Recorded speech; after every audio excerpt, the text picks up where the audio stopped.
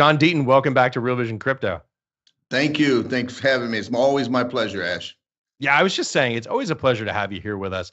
Uh, there's so much for us to talk about today, so much happening in the legal world around crypto. Uh, you're truly an expert in this. By the way, for those uh, who may uh, not remember, John Deaton is managing partner at Deaton Law Firm and founder of CryptoLaw, which is a U.S. legal and regulatory news platform for digital asset holders. Uh, and you really are extremely in the weeds with all of the things that we're about to talk about here today, everything that's happening in the digital asset legal space. And boy, there's a lot of it.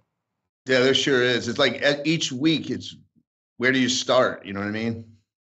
Yeah, and it's it's really interesting because this space, uh, you know, I always talk about crypto as being like three plus one things, right? It's all the incredibly complicated computer science, engineering, cryptography component. That's that's one piece, and a lot of our viewers come to us from that side of the equation. Second, it's all of the sort of very wonky finance and economic stuff, and increasingly an important part of this space. In fact, a crucial place to start understanding everything that's happening uh, in the pricing side is everything that's happening in legal, regulatory compliance, legislation. I mean, this stuff is just incredibly thick, incredibly dense, and incredibly important.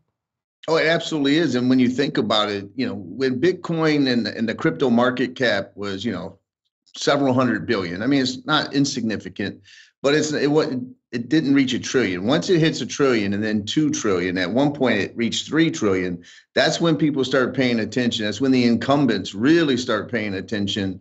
And then all of this sort of comes to a head, especially on the regulatory front, because I'm a firm believer that we have a system, and Gary Gensler has actually talked about this when he was at MIT, where you have disruptive technology that's coming in and disrupting the incumbents of a of a half century legacy banking system it's going to cause you know more than disruption. It's going to cause chaos and i think we're all witnessing that chaos right now. Yeah that's that's so well said. You know i've often said when uh, this asset class was a couple hundred billion dollars. It was like, oh, you kids over there playing with your internet money. That's all well and good. And then suddenly uh, it becomes a $2 trillion asset class. It's worth more than Apple. Uh, and people start looking at this going, hmm, this is uh, this is interesting. Maybe we need to start thinking about defending our business model here. And we've seen that happen again and again. By the way, let's talk a little bit about price. Let's talk a little bit uh, about data coming in. Obviously, today is CPI day. Uh, this becomes almost like medieval scholastic philosophers debating angels dancing on the head of a pin. Uh, but we should talk about it and talk about its relationship to price. First off, I should say uh, crypto market cap right now, according to CoinMarketCap, is at 1.23 trillion, um, nearly one and a quarter trillion dollars. But let's jump right in and talk about the latest in price action here. Uh, let's take a look, if we could, uh, at the chart of Bitcoin right now.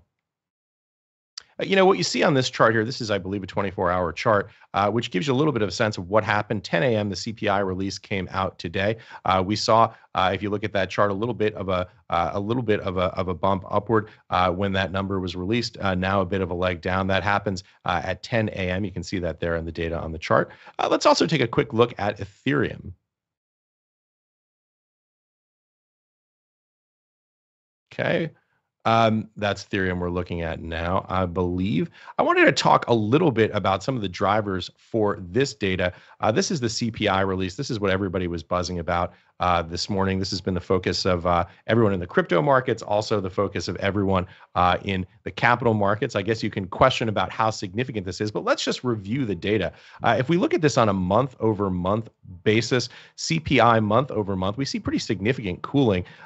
The prior number on this uh, was four tenths of 1% month over month uh, coming in. Uh, this is, uh, of course, uh, in February. The actual this month uh, 0.1%, significant cooling. The consensus range was 0.2% to 0.4%. So below uh, the consensus range, consensus was 0.3%. So a third of consensus. Now, again, we talked about this a little bit earlier. This does sometimes feel a little bit like angels dancing on the head of the pin. The level of granularity that we debate this stuff out. I should also say CPI uh, headline year over year prior was 6% this uh, recent number, March number, 5% actual. Uh, look, that's some base effect that we're seeing filtering out. Uh, another thing that we should be talking about here, uh, and I just want to bring up this is a chart from the Wall Street Journal. Uh, this is the difference. Uh, this is showing you the difference between the C- CPI headline and CPI core. Uh, that's X food and energy. In other words, the headline number is everything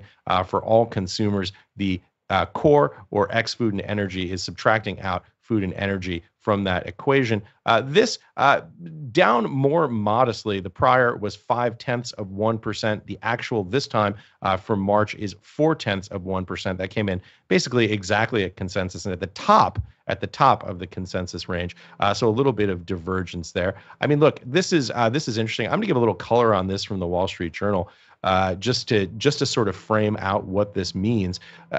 Quote: Core prices a measure of underlying inflation that excludes volatile energy and food categories increased 5.6% in March from a year earlier, that's annualized, accelerating slightly from the 5.5% the prior month. Again, this is some base effects that we're seeing there. Core inflation, which economists see as a better predictor of future inflation, has stayed stubbornly high, in part because of inflationary pressures from shelter costs. That, of course, is housing. I'll throw out uh, one more wild card uh, and we'll talk about this a little bit, John. Uh, the Fed's preferred measure of inflation is actually PCE, personal consumption expenditures. We are looking at CPI, that's Consumer Price Index. It's the price uh, index that most people follow when they talk about inflation. Uh, look, this is a lot of information out there, and I guess you you got to then question. We've got all this data. We can we can graph it very finely. We can show the pretty charts on screen. Uh, but how much does it really mean? I guess that's ultimately the question. If you look at the uh, price action today, uh, it suggests maybe maybe uh, not as much as the attention and focus you get from the news cycle would suggest? Well, it, it, seems to me, I'm not an economist. A lot of these numbers and that data go over my head, Ash, to be honest with you. It just seems to me that there's a whole lot of focus on this one index that, that I don't understand. And then I, I, I see that, I see the worries of inflation, the fact that the Fed's going to continue right. to raise. But then you, you, you hear leaders like Cathie Wood and others talking about that we're going to enter a, a deflationary period. And so it, it just seems to me that we get consumed with, you know, this one number that may be a lagging indicator when you think about uh, the real world. But, you know, that's sort of my take on it. Yeah, listen, I think that's incredibly well said. Sometimes uh, in markets, we can kind of be like the drunk looking under the lamppost for their keys because that's where the light is. You can chart these things. You can show uh, pretty graphics on screen on some cable news networks uh, that are very popular uh, for focusing on these stories. And uh, you know, look, you can show the chart, and so it gets talked about. But the question, really, ultimately, I think, uh, is about, as you point out, what the Fed is going to do next. We get some interesting uh, stuff on this yesterday uh, from John Williams, who is the Federal Reserve Bank of New York president, uh, who said, and I want to read this quote because I think it's interesting. Uh, he said uh, that he believed that a, one more additional rate hike was, quote, a reasonable starting place, close quote, meaning uh, that it seems likely that the Fed will hike at least one more time. Now, by the way, for people out there uh, who are not economics folks, who are not wonks, who are wondering why all this stuff matters, what we've seen historically, uh, at least during the last couple of cycles, is the price of Bitcoin, the price of Ethereum, the price of digital assets more broadly, uh, changing relative to what's happening with Fed policy. Specifically, when you see rate cuts, when you see more easy money coming into the system, you see the price of digital assets increasing. You basically see uh, Bitcoin, Ether, uh, and the whole complex of digital assets trading essentially kind of like the NASDAQ 100 or the NASDAQ Composite Index. More easy money comes into the system, more credit gets extended, and folks go and buy it. That's why all this is relevant, John. Yeah, I mean, and we keep hearing though, Ash, you know, again, from a layperson standpoint on all this economic data, we keep hearing about when will there be a decoupling, right? As eh, when the Fed's raising rates, it goes risk off, and and Bitcoin and digital assets are risk assets. And then when we get more liquidity, as you're talking about, and they stop raising rates or they actually go into quantitative easing, then all of a sudden it's risk on, and that right. Bitcoin digital assets will follow the NASDAQ. The real question is you keep hearing about a theoretical decoupling when digital assets don't follow, you know, the NASDAQ and the tech stocks. And and that's what I'm waiting for because I, I don't know if maybe it'll never happen, but we keep hearing about it. And a lot of people have hinted that we are slightly witnessing a decoupling. I don't know what your take is on that. Well, I think that's exactly the right question to be asking. In fact, the this idea of decoupling is so powerful because it's not just a, a decoupling, a decorrelation. Uh, what folks, particularly on the Bitcoin, have suggest uh, side of the equation in terms of uh, in terms of uh, the framework for thinking about this, have suggested is that we're going to see an inversion of that relationship. In other words, if we see sustained higher inflation globally, what we would see would be Bitcoin rising in price uh, because you would see this off the grid digital e gold uh, store of asset value function in Bitcoin. Uh, that's the thesis. We've we've sometimes seen moves in that direction, but they're frankly they're very brief uh, and they're very transitory. And for the most part, what we've seen is exactly the opposite. We've seen the correlation uh, run with decreasing interest rates, uh, accommodative monetary policy, increasing the price of digital assets. But look, we should say, uh, obviously, uh, predictions are difficult, especially about the future. We could see that reverse. If we saw sustained high inflation in the United States and abroad, uh, digital assets might, emphasis on might, become that sort of flight to quality, flight to safety as fiat currencies got debased. At least that's the theory. Well, listen, I'm someone, and I'm not someone who tries to time the market I learned a long time ago that you know I can't, and so I'm a long time investor with a long time horizon. But I will admit that I am pleasantly surprised so far, knock on wood, that that someone who is invested in Bitcoin, that um, that it, it's acted better than one would might have projected when you think about all the macro events and you think about this regulatory you know pressure that we're seeing where coinbase gets wells notices and ethereum is implicated and all of these things. And right. it's held it's held up better than a lot. I mean there were a lot of people predicting 10000 and sub 10000 for bitcoin. And, and maybe it could still happen with some kind of black swan event but you know, it seems to me that whatever the consensus is, we see an opposite result. And and so I, I am a little bit su- pleasantly surprised that Bitcoin's held up. I mean, no one could have predicted the FTX and and all of that that was happening. You know that that Bitcoin would be at thirty thousand today. There's a lot of people who would have projected its death. Oh yeah, absolutely. There were a lot of people who were projecting Bitcoin zero. We have a lot of no coiners out there uh, who believe the asset class has no value whatsoever. But you bring up such an important point, uh, which is everything that's happening right now. Now it's time for me to be a total layperson. I am not a lawyer, uh, but we're talking about this off camera. Listen, if you're interested in the digital asset space, you need to listen to folks like John Deaton, uh, who understand what's happening from a legal, regulatory, compliance, legislative component. This stuff is so important, and there's just so much happening right now. You mentioned some of that those points. Uh, we've got uh, Coinbase being served a Wells notice. This seeming divide between CFTC and SEC, ongoing litigation, ongoing criminal trials with FTX. SEC expanding dramatically its enforcement of digital assets, uh, the uh, stuff that's happening with Binance. I mean, there, there's just uh, Ripple, uh, XRP. My God, there's so much happening in this space. No, no, there is, and and you you you touched on some of it. We're we're witnessing an a coordinated, and I I don't believe this is a theory. I think it's it's been proven that there was coordination with the defunding of the banks, with the seizure of Signature Bank, with uh, the buyer having to divest any crypto deposits, whoever was going to buy Signature Bank. We have the New York Attorney General uh, suing KuCoin, calling ETH a security. You have the uh, chairman of the SEC back when the merge happened saying that the merge implicated securities laws and that ETH was implicated.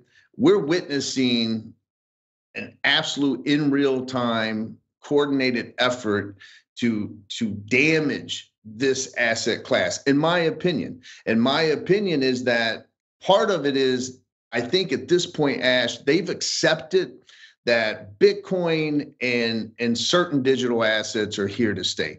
Obviously we can't say 20,000 tokens right? But you know the the major asset class uh, the bitcoins the eth the xrps all of them they're here to stay. And i think we're witnessing regulatory pressure because you have incumbents who I believe are going to come in and try to gain some of that market share. You're witnessing the NASDAQ. At the same time that we're having all this regulatory pressure, you have the NASDAQ announcing they're going to custody Bitcoin and digital assets. You know, Fidelity's been in it from the beginning. New York Bank of Mellon is talking about the custody of digital assets and offering it to their their clients. And so um, it's very interesting times, and and we're going to look back in a few years and be like, wow, that was something that we all lived through. Yeah, lived through, but didn't sleep a whole lot during because right. exactly as you say, there's so much going on. By the way, uh, we should say this thesis uh, about the notion that there is a concerted effort to crack down on digital assets, often called uh, Operation Choke Point 2.0, uh, coined a phrase uh, by our friend Nick Carter, uh, I believe, in relationship to Operation Choke Point, which happened during the Obama administration. Essentially, uh, this idea that there is, and by the way, this is just a thesis, it's not proven. We should point out that prominent members in government have denied uh, that Operation Choke, Choke Point 2.0 uh, is a thing. Uh, but look, uh, there are folks who are talking about it. That's why we're talking about it. There are lots of simultaneous actions happening at the federal level, uh, at the executive branch level, where you see independent regulators obviously uh, taking these lawsuits uh, against major players in the space. We have things happening at the state level, as you pointed out, in the state of New York, where I live. Uh, the attorney general calling Ethereum a crypt a, a, a security. Uh, this is a, a significant space. Lots happening. John, let's step through all of these one by one, talk about them in detail, break them down, just because there's so much going on here. I leave it to you, John. Where should we start? Well, let's just say to go back to this this effort. You have j- just we know that Gary Gensler and Elizabeth Warren, Senator Warren, have a very close relationship. In fact, Gensler's daughter works for Elizabeth Warren. We know that Elizabeth Warren, in an email, provided Gary Gensler with the questions and suggested answers at a Senate Banking Oversight Committee. These aren't theories, Ash. This is what I'm talking about has been shown. Um, and you have a senior citizen. What's what's the implication there? Well, well, the implication is Senator Warren sits on the banking committee of the Senate, which provides oversight to the SEC. Her job on the banking committee is to oversee Gensler and the SEC's activities to whether it's related to digital assets, whether it's related to FTX, whether it's related to uh, Robinhood or any of the other Citadel, all those issues. And she sent an email with her questions beforehand to Gensler with suggested answers, asking, you know, she doesn't, quote, want to put him in a tight spot. All right. You and I would be fired from our job if our job was to provide oversight, that we're the person we're providing oversight, we're giving them the suggested answers. And the po- reason I'm bringing that out is Senator right. Warren is up for reelection and she launched an anti crypto platform for reelection. And so it doesn't get any bigger than this, right? Is what I'm getting at in the war. But as far as where we would start, I think we start, you know, there with the fact that today is Ethereum. Let's start with Ethereum because today's a big day.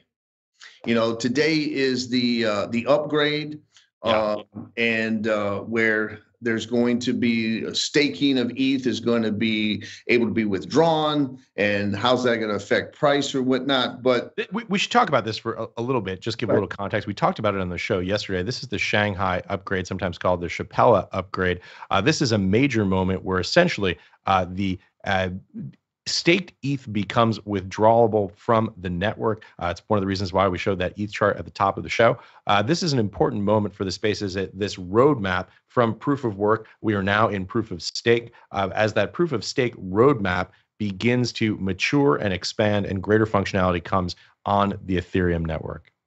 Absolutely. And and this the New York Attorney General in their suit against KuCoin basically called ETH before and today is security.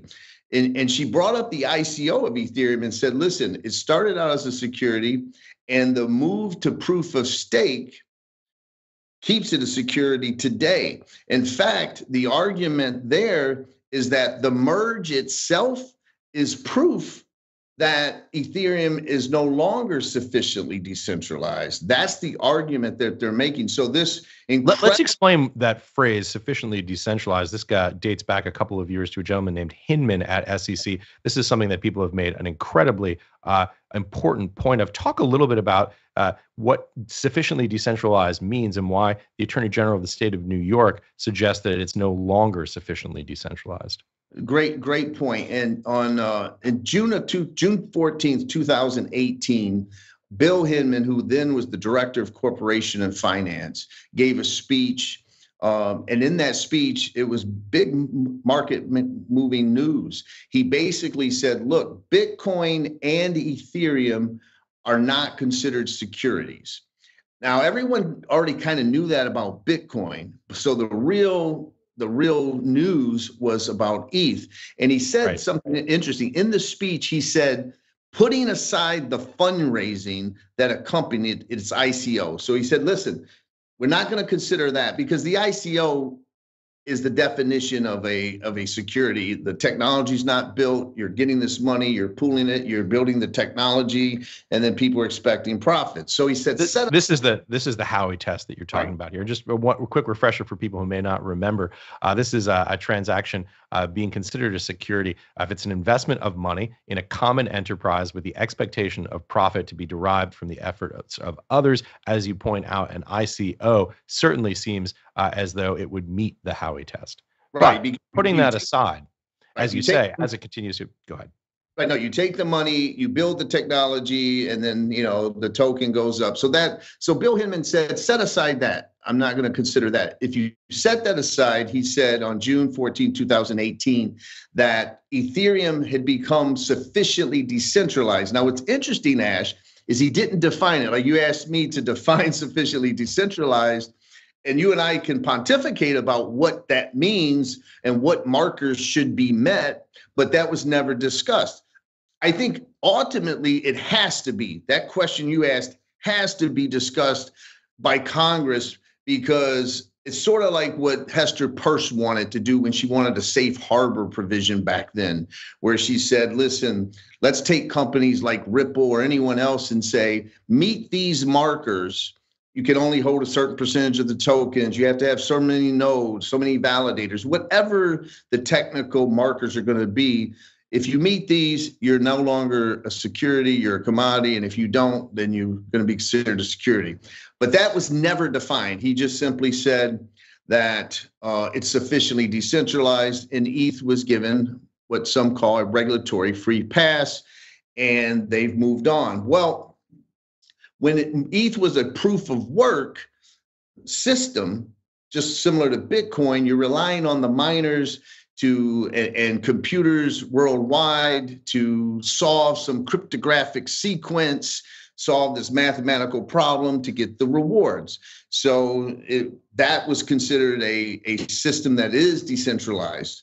However, when you merge to proof of stake, then you're the the people that own the tokens and the more tokens you own theoretically have an impact because they control and secure the network and so uh, proof of stake is considered more centralized than proof of work and so that's basically the theory of how ethereum could have moved by proof of stake to a to become now a security and what if you look at that new york case i'll tell you uh, the New York, according to the lawsuit, I'll read to you what it says. It says by shifting, and just for the audience, I'm talking about New York, New York Attorney General's lawsuit against KuCoin that said ETH is a security.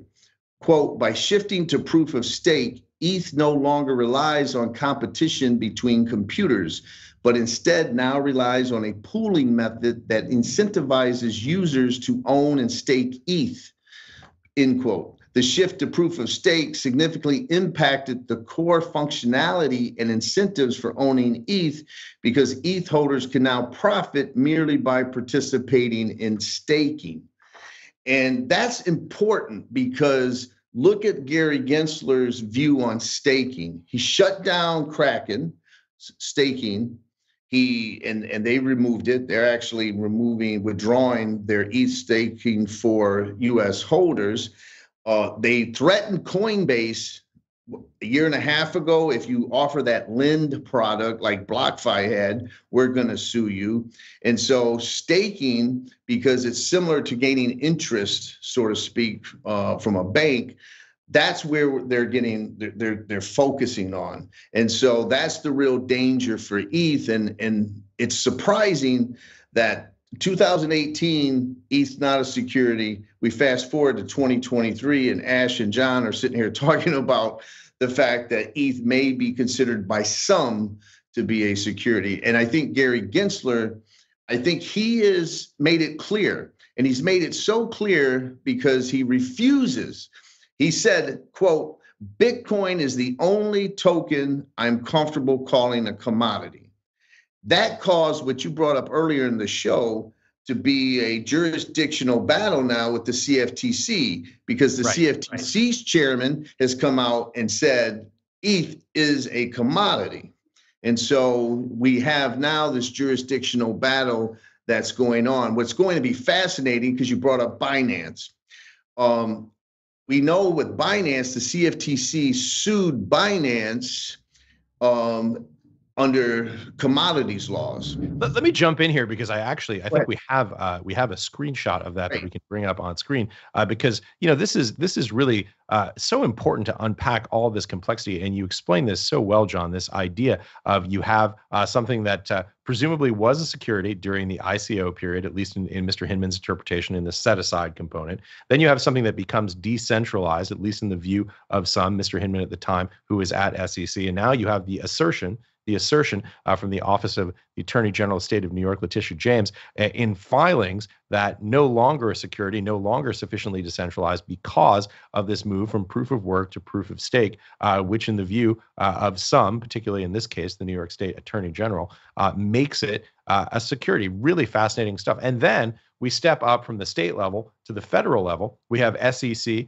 uh, as you point out, Chairman Gensler saying the only thing that he's comfortable with not being a security is Bitcoin. Implication, therefore, Ethereum is a security. And yet, as you mentioned, the lawsuit CFTC filed in federal court uh, against Binance. And I just want to read this. If we can bring it up on screen, it'd be great uh, because this is such an important point. Uh, the lawsuit uh, talks about uh, futures, options, swaps, leverage retail commodity transactions, quote, involving digital assets that are commodities, including Bitcoin, Ethereum, and Litecoin for persons in the United States. Uh, so, so there you have it. The CFTC directly making the statement that Bitcoin, Ethereum, and Litecoin are in fact commodities. SEC making a counter argument. Uh, give us a sense of how you think about reconciling these two positions.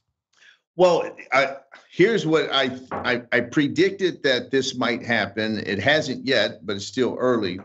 What'll be fascinating, Ash, is don't be shocked if we see the SEC dogpile on CFT on Binance and say that Binance's ETH staking is also violating securities laws. I won't be surprised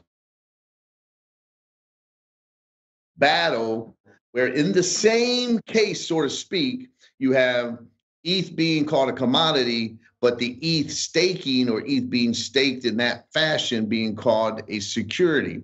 I'm I'm not guaranteeing that's going to happen. I'm just saying I won't be surprised if I see that. Um, the the CFTC chairman literally said he disagrees with Gary Gensler, um, and so personally, this is the quandary that this is the quandary that people have, right? Proof of work, decentralized proof of stakes. It's not even Ripple. Interesting when Ripple was sued, Brad Garlinghouse was making it a point to Brad to, Garlinghouse, to, one of the founders, of course, of Ripple. Right, he's the CEO of Ripple, and he made it a point to say, listen, uh, the XRP ledger is a consensus um, protocol, it's not based on proof of staking. So the fact that Ripple owns 50% of the XRP, that's only relevant and and would be more centralized and blah blah blah if we were a proof of stake kind of uh, consensus uh, operation. And so, so I just throw that out because that's kind of some people saw the proof of stake being being an issue, and and so if they set, if they call proof of stake a security, then how do they shut down Bitcoin? They shut down Bitcoin by the energy. And so that's why lately on Twitter I said, watch, you're going to see the energy attack on Bitcoin become bigger and bigger. I actually said that three weeks ago, and we just saw a New York Times article come out where they said Bitcoin mining was destroying yeah. the environment and all By the that. Way, a, a, really big, comprehensive, deep article making this argument. Uh, I guess that tells you a little bit about uh, well, I should say maybe what the establishment thinks about Bitcoin. Oh, absolutely. And and so So we're going to have this this jurisdictional battle, and I think it's become apparent that Gensler, when you have a, a Congress that won't act, everyone keeps saying, Ash, when we get regulatory clarity, when we get regulatory clarity, when the hell are we going to get regulatory clarity from Congress? It's not going to happen. We're entering an election year. It's not going to happen. So the earliest that I predict Congress would actually pass legislation that survives the House, the Senate, and signed by the president, you're looking at late 2025 at the earliest. And so these court battles that you and I and the rest of the world are witnessing is where we're going to get some kind of clarity. It's going to be judicial clarity as opposed to regulatory clarity.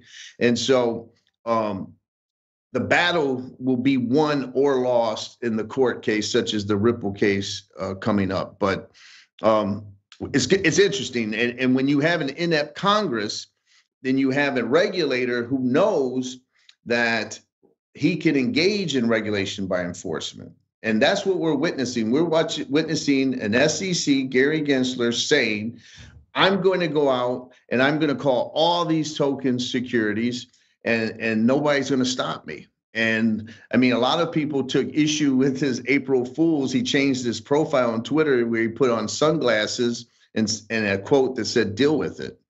I mean, personally, some people think that's fun and that's silly. I think it's sending a message which there's nothing you can do about it. You're going to have to live with it. This is this is what I'm doing. So it's it's going to be very fascinating, and I think that it causes more eyes to be on that Southern District New York decision that we're waiting for in the Ripple case.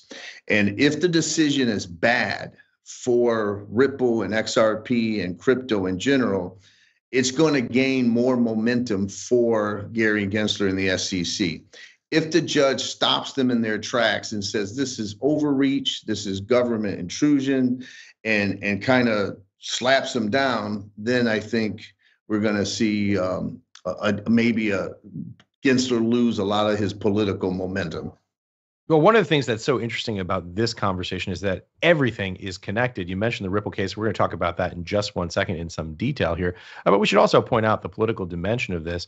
Uh, you mentioned Senator Warren earlier. We should point out uh, Gary Gensler, appointed by President Joe Biden, obviously uh, a Democrat. Uh, Elizabeth Warren, also a Democrat. Congress right now divided Senate in the control of the uh, Democratic Party. Uh, Republicans control the House. Uh, but look, here we are in 2023. No matter what you believe politically, uh, there are a couple of television networks that will tell you you're right. Uh, that's just the nature of the landscape of where we are. Uh, but the reality is, uh, cryptocurrency has taken on a political dimension here in 2023. Uh, I think it's any reasonable interpretation of the facts. Anyone who analyzes this, anyone who works in the space every day, would have to concede that the Democratic Party clearly much more overtly hostile to digital assets to cryptocurrency than Republicans. Uh, it's just a statement of fact. You could prove it based on voting records. You could analyze the statements. There is a very clear uh, affinity for criticizing uh, the digital asset space uh, on the Democratic side of the aisle right here in 2023. Not a political statement, just an, an observation and interpretation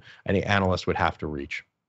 Yeah, I mean, listen, you're seeing um, they're not letting the truth get in the way of their narrative. I can tell you that because we're seeing each day that crypto, including Bitcoin, is still used predominantly for illicit activity, to fund terrorism, for cartels.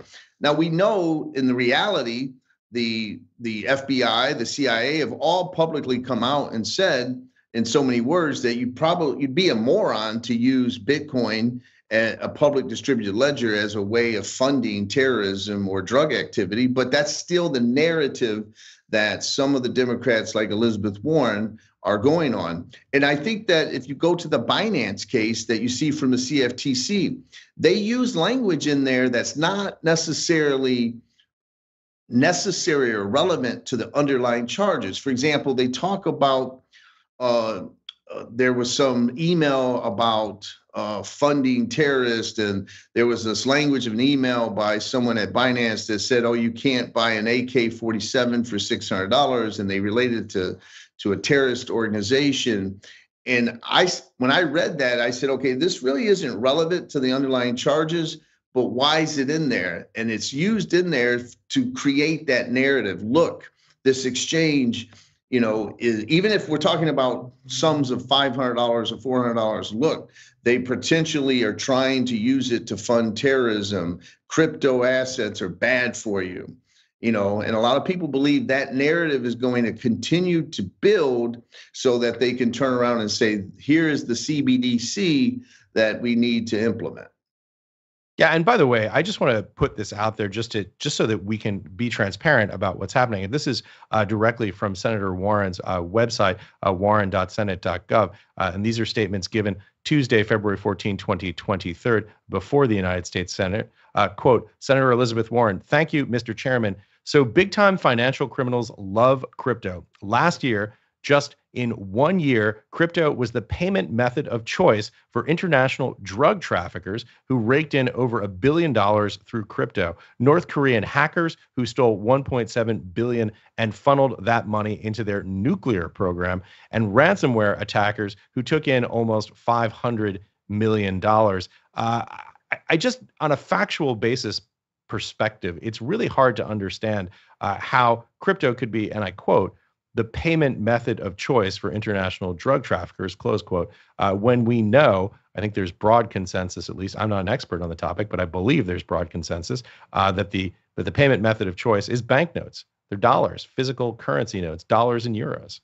Of course they are. I mean, uh, I, all the laundering that you've we've heard about in the in the last decade, if you compared the laundering that went through Deutsche Bank or or or Swiss Credit or any other bank, I'm not picking on any particular one, and compared them to the amount of in Bitcoin or crypto, it would pale in comparison. It'd be a fraction of a fraction of a percent. And it's but it's the narrative that people, you know, are pushing. And then when unfortunately when you have an FTX and you have um, Celsius and you have some self-inflicted wounds that right. sort of the crypto industry has created itself because of greed and deceit it gives those narratives because what a I'll tell you, Ash, something that was fascinating to me is I spoke very briefly at a New Hampshire state. Uh, they had a financial services committee. So, sort of like uh, Congress that Patrick McHenry and Warren Davis are on on the federal government. The state of Maine has one of those, obviously, states in it. And there was a hearing where the fella, there was a state senator, and he introduced a bill that would allow specialty financial private institutions to custody Bitcoin, basically, right? Sort of similar to what happened in Wyoming. And what would be fascinating, Ash, is you heard these non crypto people the questions that they were asking people like me or, or others that testified. And it was, quote, I hear that Bitcoin's used by criminals. Like that's that was a question. Um, I don't understand this mining situation. Like, how does a miner make money? It just seems like a confusing system. And the point I'm getting at is when you leave crypto Twitter and and and crypto world that that a lot of your audience knows, and you go to the general population, man, are we still early? Is what I'm saying. Yeah. Regular people are clueless about the technology is what I'm getting at. And and so that's just it's just something that that's why we're seeing narratives being pushed. And when FTX happens, it, you know that FTX Gensler, yes, he met with Sam Bankman, and and he may have uh, had a, a, an optics issue there for a while, but at the end, he's loving it because it gives him his narrative. Look, we have to shut this stuff down. These people are being victimized because look how bad crypto is, and and I think people are going to be surprised that we have to fight narratives that we thought were 2015 narratives, and yet here we are, uh, and it's being recycled. Yeah, I should also say because I want to bring the viewers into this conversation. Uh, wherever you're watching this show, put down your questions in the chat. Uh, we'll ask the best ones on air later in this show. Remember, Real Vision members take priority, but the good news is membership is free. You can get there uh, at realvision.com forward slash crypto if you want to sign up. That's realvision.com forward slash crypto if you want to sign up. Uh, so so much to talk about. Uh, by the way, I noticed one of our regular viewers, uh, Ralph, on the website is asking, uh, where are we with the XRP litigation? We keep promising to come back to this, uh, and he adds, I noticed that Montenegro is testing a CBDC, that's of course a central bank digital currency, with XRP's parent company, Ripple Labs. Uh, Coindesk reporting that yesterday. Uh, John, big picture, where are we with the Ripple legisla- uh, regu- litigation? Uh, we talked about this a little bit earlier in the show. What's your analysis on what's happening right now in the Southern District of New York? All right, uh, great question, of course. And you know, it's interesting because we've been talking about all of this regulatory stuff in the SEC in the United States, and you just referenced the CoinDesk article and the partnership with Ripple um, about a CBDC. And it's interesting because Brad Garlinghouse, the CEO of Ripple, and also uh, uh, Dr. Martin, who is uh, head of research at Uphold, he said this as well. He said, when you leave the United States, the rest of the world doesn't really give a crap about the SEC and the SEC's theories of what's a security and what meets the Howey test and what doesn't. And the rest of the world is moving on. And Ripple is has increased. They're still hiring while other people are, um, you know, laying people off and whatnot. And so I just throw that out there that a lot of times us in the United States, we think everything is about the United States and the rest of the world is, is sort of moving on without us personal opinion. Now, with Ripple, basically, Ash, we're at a point where the judge could decide uh, the decision on summary judgment. For your audience, basically, Ripple has said to the judge, here's some paperwork. We don't need a jury because we win, and here's our arguments. The SEC has said the same. Judge, we don't need a jury to decide anything because we win. Here are the facts in the law. And now the judge then, of course, decides does Ripple get an outright win? Does the SEC get an outright win? Or does she somehow give each side what the proverbial split the baby, so to speak, and say, hey, Ripple, you sold an investment contract during these years, but today you're sufficiently decentralized or whatever, and therefore ongoing and future sales of XRP are not implicated by the securities laws. And then that's the end of it. Or does she say we need a jury to decide certain facts because there's too many disputed facts? And that decision uh, could come down while we're talking. I've said that generally speaking, when Judge Torres, I've looked at her previous cases, and when she's de- provided a ruling on expert witnesses, it's called Daubert, where they challenge the experts. She made a ruling on that, and XRP holders got a big victory in that one, by the way. But she ruled on that, and she's had a case where a month after that ruling, she's decided summary judgment. She's had a case where two months after that ruling, she's decided summary judgment and she's had a case where it's only been a week. So we're in that zone now. We're about five weeks from the time that she decided that expert issue. That's why I say if we look at her historical history, then we're waiting for decision anytime now. May 6th would put us at the 60 day mark. So I think it'll come down before then, but I'm completely guessing because I don't know where her schedule is. I don't know how many other cases she has. I don't know how many decisions. But I would tell you this, Ash, a lot of people are anxious because of this decision. And I, I went on record to say, think about the pressure that this decision is. This isn't just about XRP anymore, right? You have 15 amicus briefs, Digital Chamber of Commerce, Coinbase, XRP holders, 70,000 plus that we filed. Uh, TapJets, which accepts XRP as a currency, iRemit accepts XRP as a currency, and then dozens of others, a dozen other uh, projects, like I said, that uh, or entities that said to the judge, "Listen, a big, big lot is riding on your decision. You could be handing down the most significant non-fraud." SEC enforcement case since the Howey decision in 1946. This impacts global trade and finance like no other decision previous judge. And so there's a lot riding on it. And I think that she's taking her time. She's historically been a good judge. A lot of people think that because she was appointed by Obama, that therefore she thinks one way. I don't put a lot into that. I think that you, you base her on her decisions in the past. She has smacked the government down in previous cases when she saw overreach, and I'm hoping we're going to witness that soon. So that's where we are. Boy, that's uh, that's really an extraordinary statement that this could be the most significant court ruling on securities law here in the United States since the Howey test.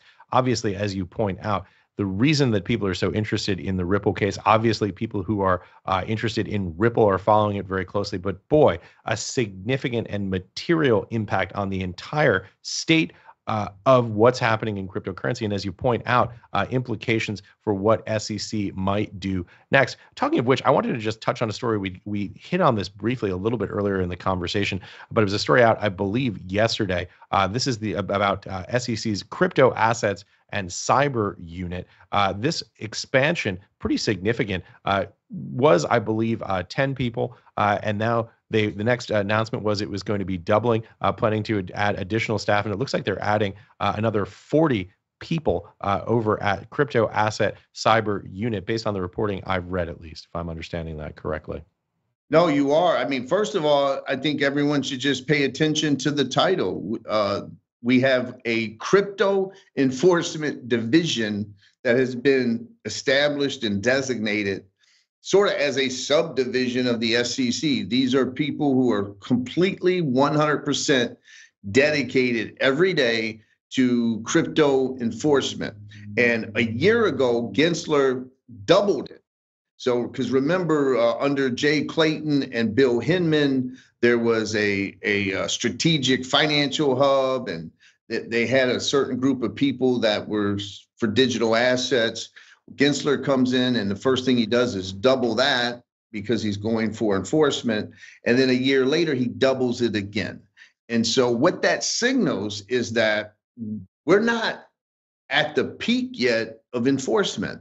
And I know that's going to shock a lot of people, but I think that the Wells notice to Coinbase says it all.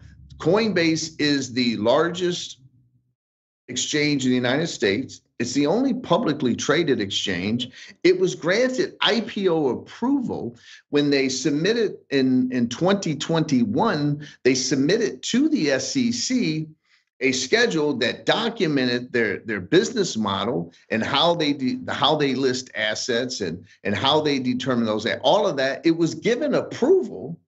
And now we fast forward two years, less than two years after it IPOs, you have a new chairman coming in and saying, We're going to sue you. You know, the first thing they said is, if you offer that Lend product, we're suing you. Coinbase back down.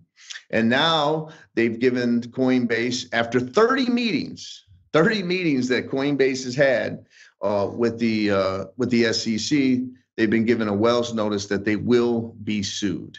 Now, they're all, and and I believe the suit's coming down. In fact, I predicted it on um, with Charlie Gasparino and Liz Claman uh, in March of last year. I said I I predict they're going to sue an exchange like Coinbase the way things are headed.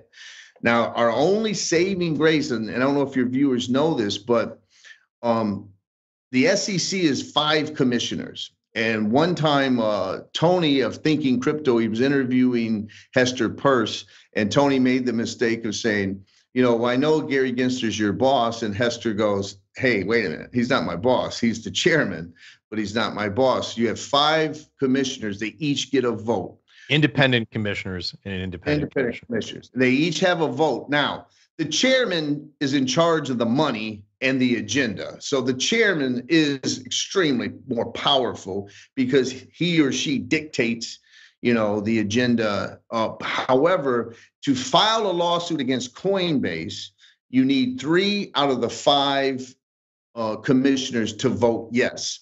If there were going to be a Ripple settlement with the SEC, then you would they would submit here are the settlement terms to the commissioners and they would vote. And it would require three out of five to vote yes we want to settle. And so unless hester peirce we have to assume that she's a no on coinbase lawsuit.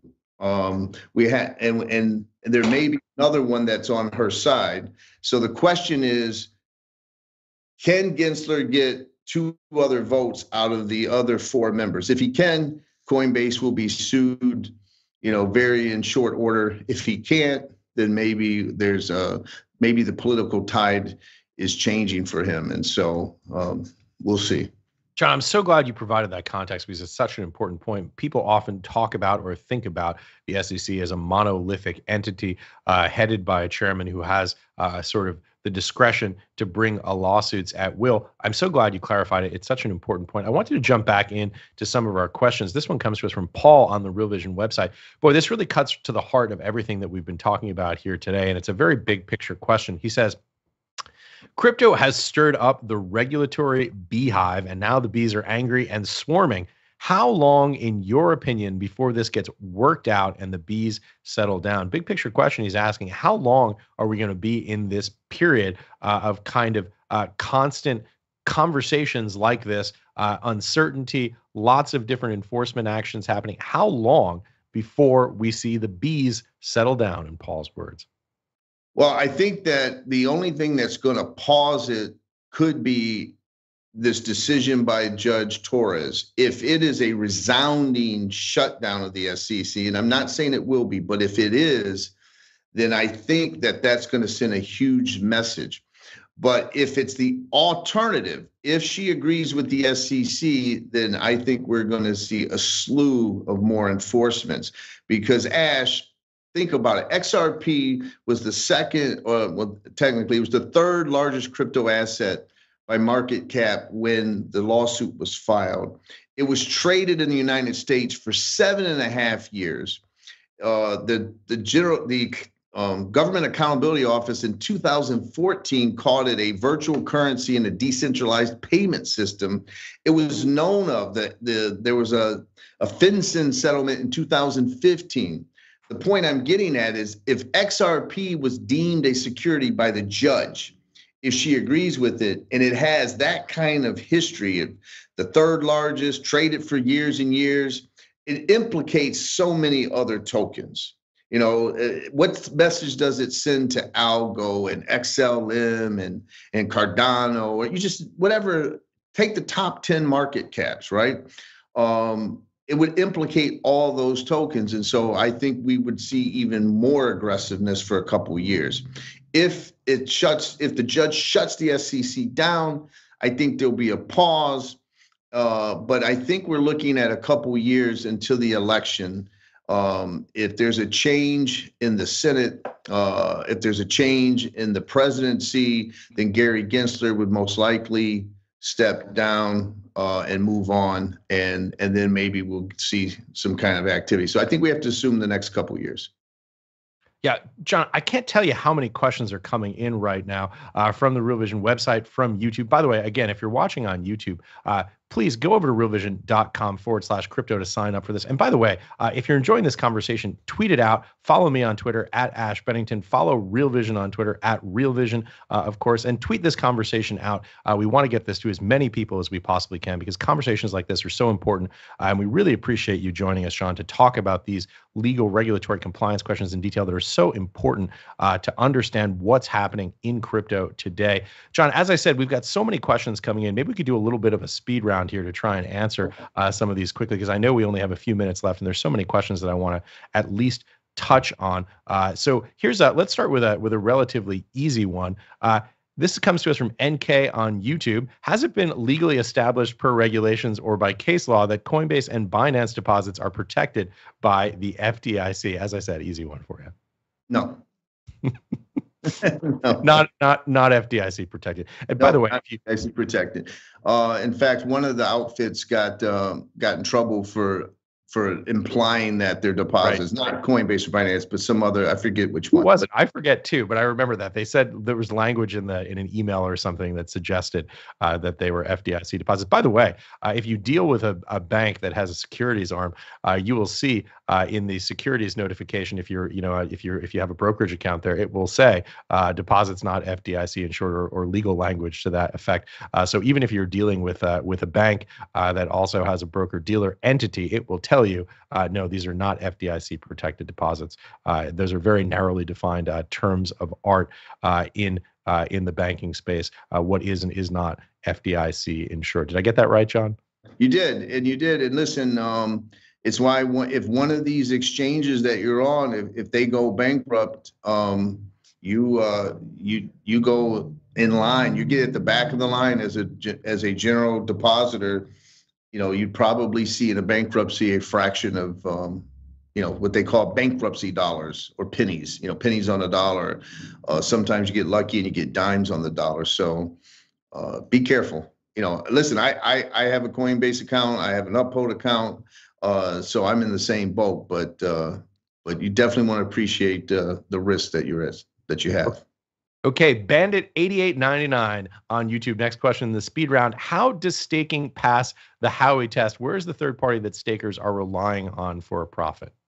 Well, that that's great, and that would be the argument. The argument would be that it does not pass the Howey test because uh, the Howey test relies on the efforts of others. If you really look, the Howey test is solely others. But staking, uh, it, you're the one uh, that is securing the operation and the security of the network. Therefore, you're relying on your own efforts.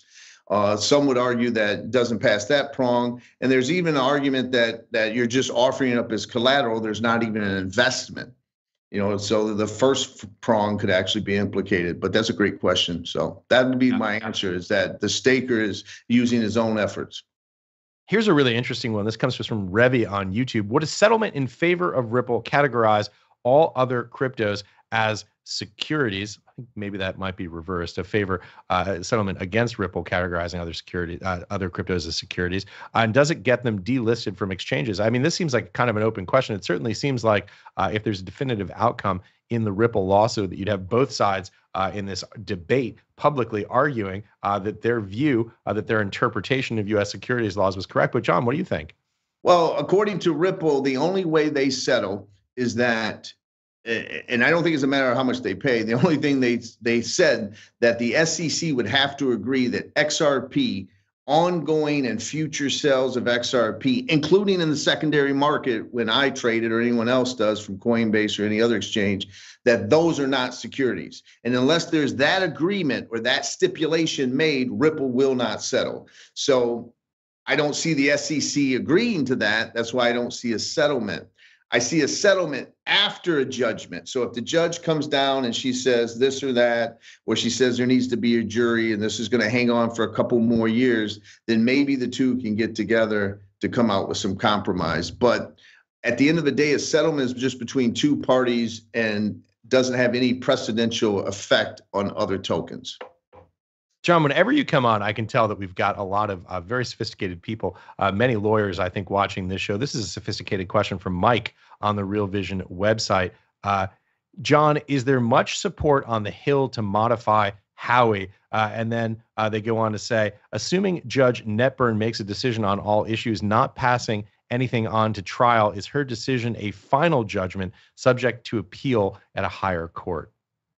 I'll take the second one. Yes, uh, it's Judge, not Judge Netburn, Judge Torres. Judge Netburn was the judge that handled the discovery motions. Judge Torres will be the one ruling, and her decision uh, is appealable to the Second Circuit. Uh, if she, Ripple's already indicated if they lose, they're appealing to the Second Circuit. And then, of course, it could go to the Supreme Court, and that's when you would could get what's called the Ripple test that arguably could replace the Howey test, or it wouldn't replace it. It would just be the Ripple test applied to digital assets, so to speak. Uh, what was the first part? I forgot the first part. By, by the way, I should say that was from Roy on the Real Vision website. The first one was from Mike on the Real Vision website. John, is there much support on the Hill to modify Howey? Uh, there, there is on the Republican side. Um, and a lot of people, and, and I'm talking to congressmen as well, and we're trying to push for something like what the United Kingdom's Financial Conduct Authority did, where they said, listen, you have three types of tokens. You have a security token, which is a security, uh, you have a utility token, and you have an exchange token, and there could be a hybrid. The, use, the UK's FCA called XRP a hybrid token, acting like an exchange and a utility token together. So there is a way, it's not rocket science, there is a way to to come out and say yes, certain tokenized assets will be securities, and certain tokens will be truly utility or exchange type tokens. Um, but we, we, I think this next election, if the crypto voting block has an impact, then I see that's when you'll see the tide change. John, uh, we're out of time. I wish we could go for three hours. Uh, these conversations are, are just fabulous. Uh, I learned so much talking to you about this. Uh, and this is just such an incredibly critical part of the ecosystem today. Final thoughts, key takeaways. I know we've covered a tremendous amount of material here, uh, but what would you like to leave our viewers and listeners with? Well, I only would say this that if you're not, and I, I if you're not a member of Real Vision, it's free. Become one. They didn't Ash didn't ask me to tell you that, but I've been on a lot of shows. I'm a fan of Real Vision. I'm a fan of yours, Ash. I think the content when you talk about the broad spectrum of this asset class, that you're a fool if you're not a member of Real Vision uh, and following you on Twitter or or YouTube or wherever else you are, because I think the content you guys are producing is a real service to the community. Wow, we really appreciate it, and we always appreciate when you join us on this show. Uh, I, as again, as I said, I learned so much. Uh, John Deaton, thank you so much for joining us. Thanks, Ash. See you next time. Uh, and remember, uh, that's it for today. Uh, and if you wouldn't mind, uh, as John suggested, please go over to Real Vision Crypto. It's free, of course. That's realvision.com forward slash crypto. Tomorrow, we have Stefan Klauser from Izot, uh, who will join us for a discussion on the convergence of crypto and AI. Obviously, just a red hot topic. Another great show back to back here on Real Vision Crypto uh, and the digital landscape in Europe, which, of course, is also an interesting question. Join us live at 9 a.m. Pacific time, noon Eastern, or 5 p.m. if you're in London. Thanks for watching, everybody.